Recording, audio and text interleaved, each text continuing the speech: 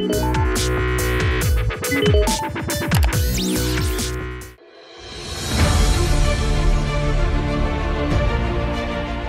suami Laudia Cynthia Bella, Engku Emran, bagikan kabar duka. Bella justru ungkap kebahagiaan, kegembiraan hakiki.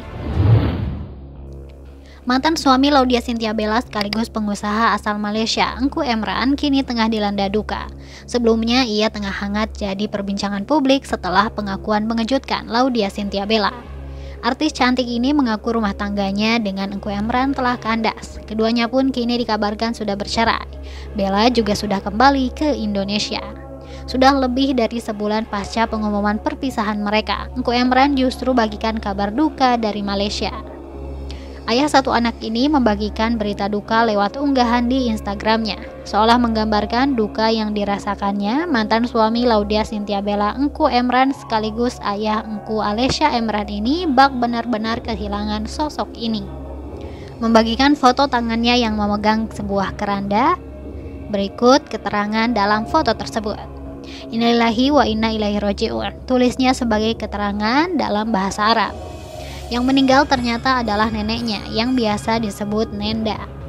Terima kasih kepada para hadirin yang meluangkan masa menyempurnakan sholat jenazah dan mendoakan arwah Nenda kami. Semoga arwah mendapat keampunan Allah Subhanahu wa Ta'ala dan ditempatkan bersama para solehin. Ungkap Engku Emran.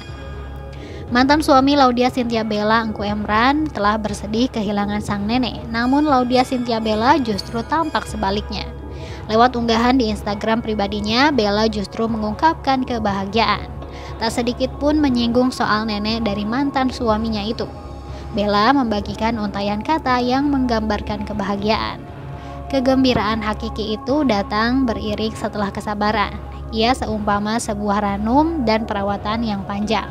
Isi unggahan Laudia Cynthia Bella di Instagram. Tak hanya itu, mantan kekasih Raffi Ahmad ini juga mengucap syukur dan menandai akun kedua sahabatnya, Zaskia Sungkar dan sang suami Irwan Syah. Usut punya usut, ternyata Bella turut senang atas selesainya kasus yang menimpa dua sahabatnya itu.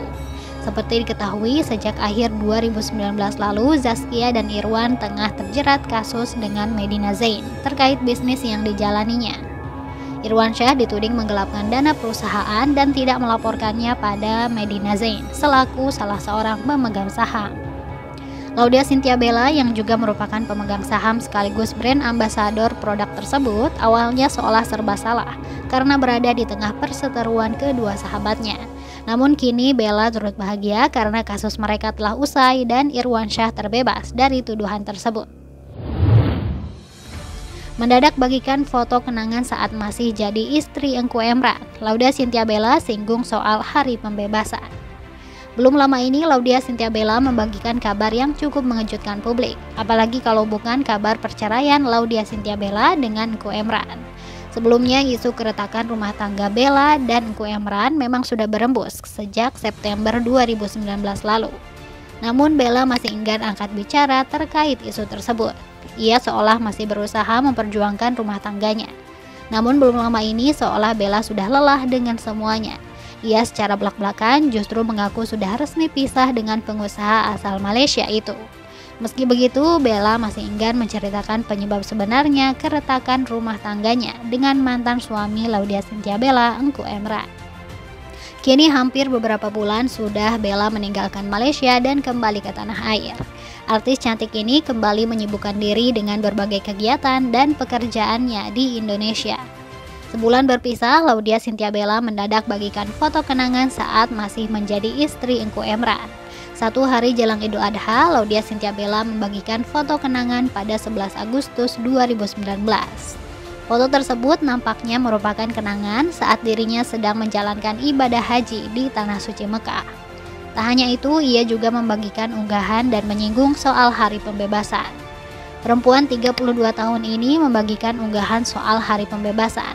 Ternyata hari pembebasan yang dimaksud adalah berhubungan dengan sebuah ibadah yang dijalankan menjelang hari raya Idul Adha. Laudia Cynthia Bella unggah kenangan hingga singgung soal hari pembebasan. Tak hanya sekali, Bella bahkan mengulang pembahasan soal hari pembebasan itu hingga dua kali, seolah menegaskan soal adanya pembebasan di hari Arafah. Lagi-lagi unggahan itu adalah kenangan dari tahun sebelumnya yang kembali diunggah olehnya. Ia juga membagikan soal kumpulan amalan yang bisa dilakukan di hari Arafah, serta doa-doa baik yang bisa dipanjatkan pada hari tersebut. Entah apakah unggahan tersebut sekaligus menggambarkan perasaannya atau tidak. Bella membagikannya tanpa adanya keterangan tambahan.